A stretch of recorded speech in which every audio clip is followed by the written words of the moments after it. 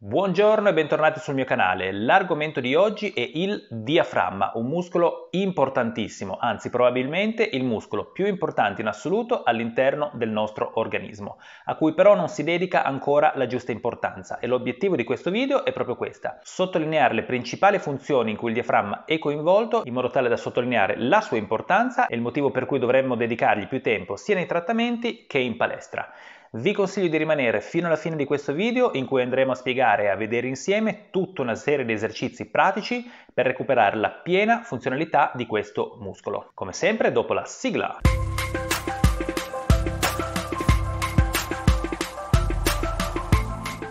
In questa prima fase andremo a spiegare tutta una serie di connessioni anatomiche e fisiologiche in cui il diaframma è coinvolto, perché sappiamo che questo muscolo è molto importante ma probabilmente non abbiamo capito bene a fondo il perché. Una prima funzione, quella più conosciuta ma allo stesso tempo la più importante proprio perché è vitale, è la funzione respiratoria. Il diaframma è un muscolo molto ampio che si inserisce al di sotto delle nostre costole, circonda tutta la gabbia toracica e va a inserirsi anche dietro alla giunzione tra la zona dorsale e lombare della nostra colonna vertebrale. Durante la respirazione il diaframma ha un movimento a stantuffo, quando inspiriamo tende a scendere verso il basso e quando espiriamo tende a risalire verso l'alto. Il fatto di avere una buona escursione corrisponde ad avere una buona ampiezza della respirazione e quindi una buona ossigenazione dei tessuti. Ma il fatto che sia un muscolo attivo 24 ore su 24, 365 giorni all'anno, dal primo all'ultimo giorno della nostra vita, fa in modo che il diaframma sia probabilmente il muscolo più utilizzato in assoluto. E se a questo aggiungiamo il fatto che la postura bipede tende a portarlo in accorciamento abbiamo già elencato due motivazioni per la quale è così facile trovare delle disfunzioni del diaframma che portano spesso a una sua rigidità. Infatti un diaframma rigido e che non ha una buona escursione muscolare in ispirazione o in espirazione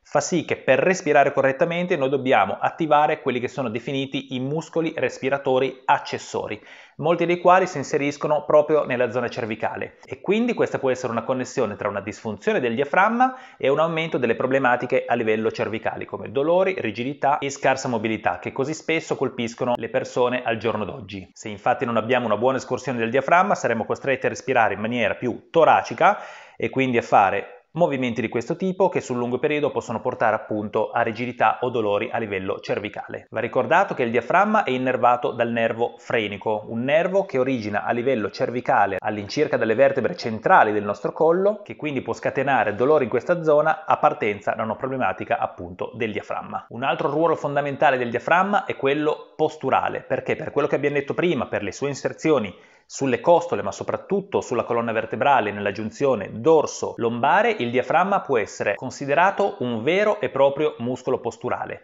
perché anche qui, se la sua funzionalità è piena e completa, questo muscolo non interferirà troppo con la nostra postura. Viceversa, se va incontro a una rigidità o una disfunzione, il fatto che si inserisca proprio su quella giunzione dorso-lombare farà in modo che quelle vertebre siano più rigide e che non ci sia un corretto svincolo in rotazione, ad esempio durante il movimento della camminata. In più, la postura seduta, così comune in tantissimi lavori al giorno d'oggi, tende a portare il diaframma in accorciamento, in disfunzione e questo a sua volta può portare a posture scorrette come ad esempio la chiusura cifotica anteriore o la chiusura delle spalle che sul lungo periodo possono portare a altre problematiche e dolori di vario tipo. Ricordiamoci anche che il diaframma ha una connessione diretta con il pericardio, ovvero quel sacchetto fibroso, diciamo così, che avvolge il cuore che a sua volta è connesso con dei legamenti alle vertebre dorsali. Quindi anche qui una disfunzione del diaframma può portare a una tensione che noi avvertiamo tra le scapole, ovvero proprio dove si inseriscono questi legamenti. Questi sono tutta una serie di esempi che connettono le disfunzioni del diaframma con problematiche posturali. Una terza importantissima funzione del diaframma è quello di regolatore di pressioni. All'interno del nostro addome infatti c'è una pressione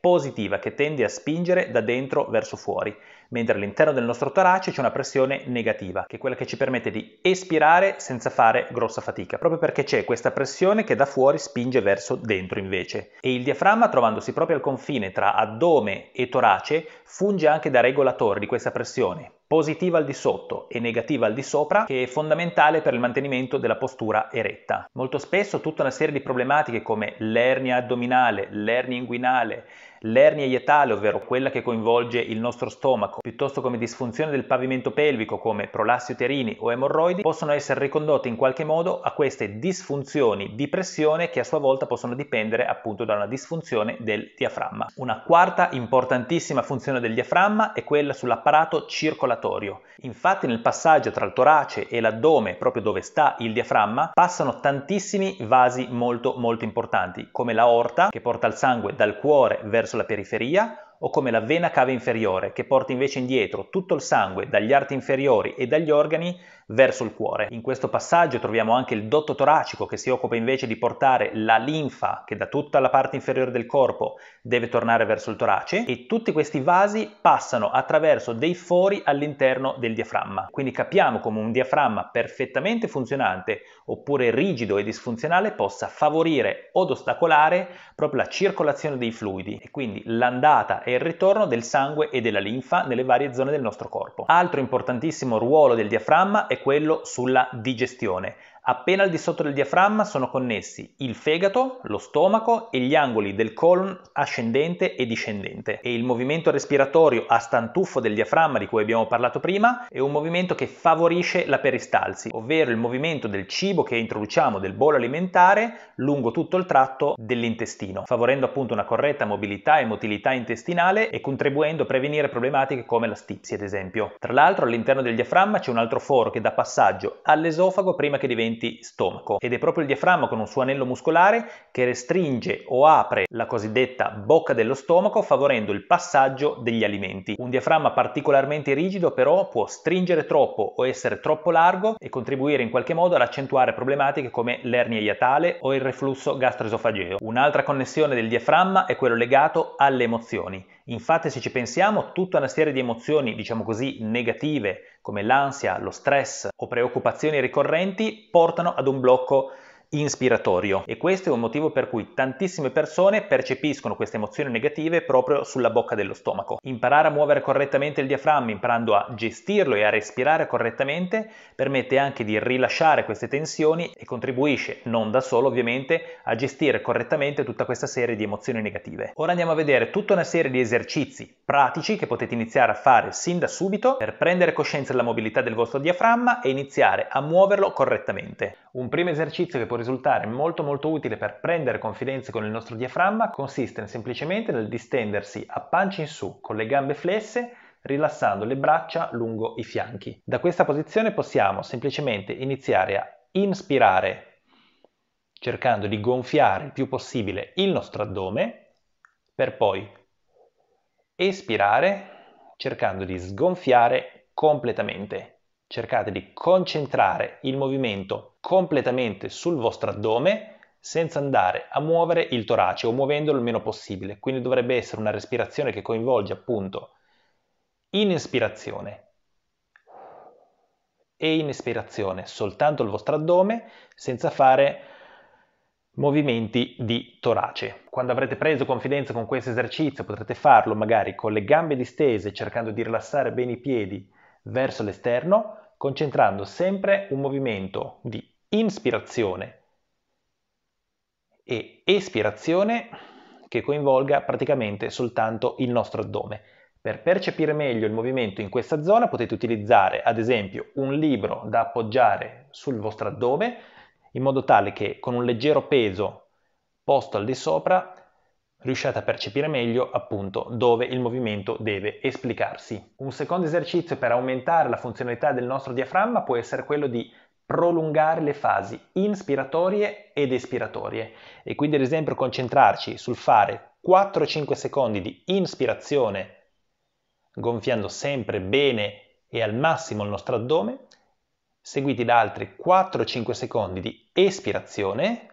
svuotando completamente i polmoni. Sarà molto molto più difficile inspirare in maniera lenta e prolungata,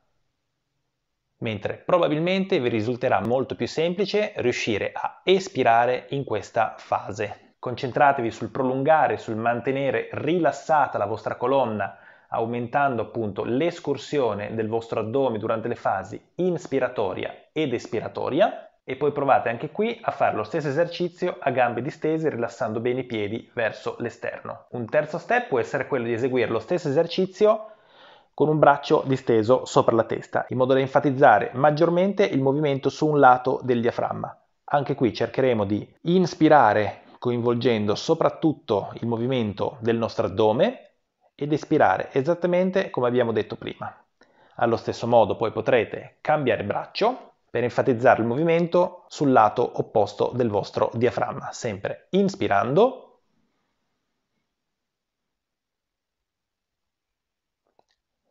ed espirando in maniera lenta e controllata.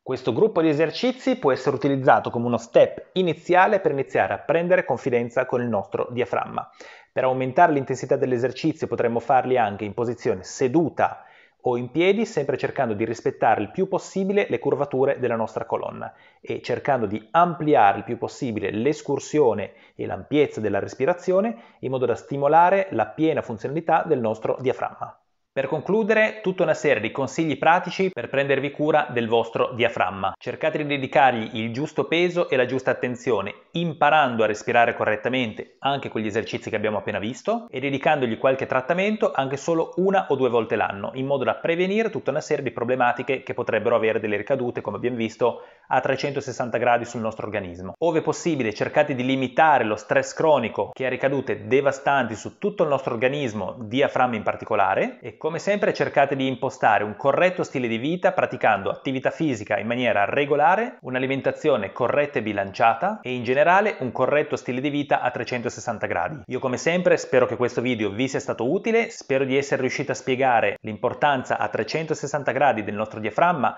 e le sue mille connessioni e quindi le sue mille ricadute che può avere sul nostro organismo. Vi invito come sempre ad iscrivervi al mio canale, ad attivare la campanella e magari a lasciare un like in modo tale che questo video possa arrivare arrivare a più persone possibile. Intanto vi ringrazio per l'attenzione e vi do appuntamento al prossimo video. A presto!